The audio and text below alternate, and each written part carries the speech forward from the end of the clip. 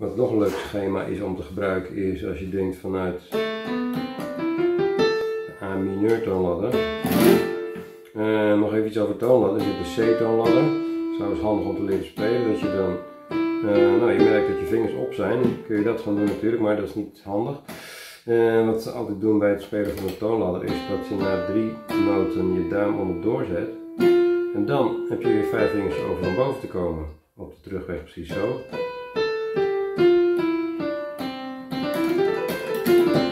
Kun je hem uiteindelijk heel snel mee krijgen. En hier natuurlijk niet mee. kun je op het hele toetsenbord komen. Als je hier weer onderdoor zet, kun je weer doorgaan. Hier 1, 2, 3, 4, 5, 6.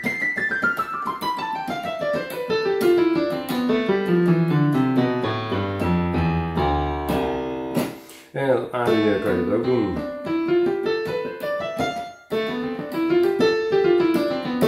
En dit akkoord past heel goed in A mineur en dan kun je opschuiven naar G en G majeur, F majeur en dit is de A mineur.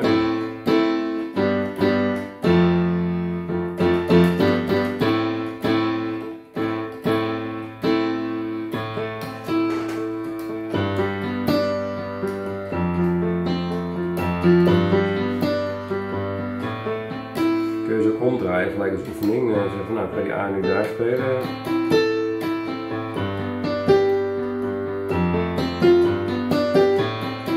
Keer omdraaien. Denk aan mijn vingerzetting, derde vinger hier ook. En hier had ik mijn wijsvinger. En nu heb ik hier mijn middelvinger.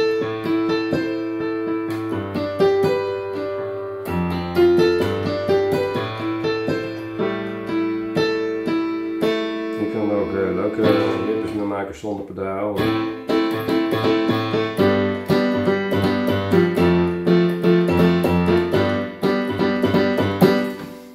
Een beetje vanuit dat je drummer geweest bent, dus dat je met links en rechts eigenlijk best wel oefening gehad hebt.